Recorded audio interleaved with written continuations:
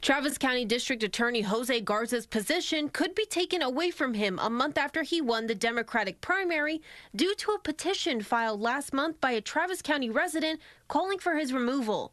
The petition accuses the DA of indiscriminately pressing charges against police, refusing to prosecute lower level drug crimes, and refusing to prosecute cases related to the state's abortion ban.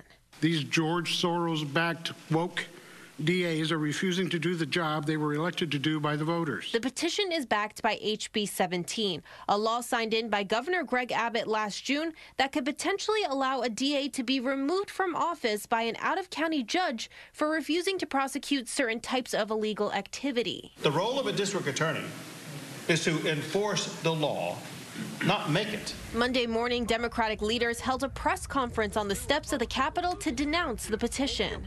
You don't have to agree with every decision of Jose Garza. In fact, you don't have to agree with any decision that Jose Garza has made as district attorney to know that this is wrong. Very, very wrong.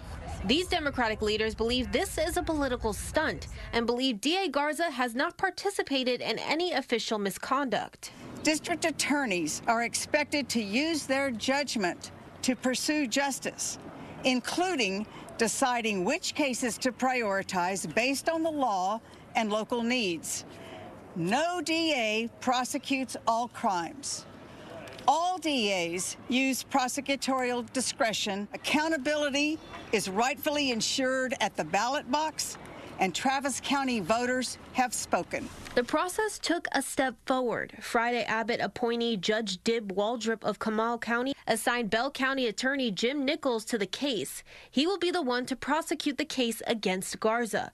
Garza released a statement the same day saying, quote, Every day our office works to bring justice to Travis County and keep people safe. Last month, a few billionaires and MAGA Republicans and their dark money PAC failed to stop our progress at the ballot box. Now, a month later, their allies are wasting taxpayer money trying to undermine the decision of the voters of Travis County. They failed once and they'll fail again.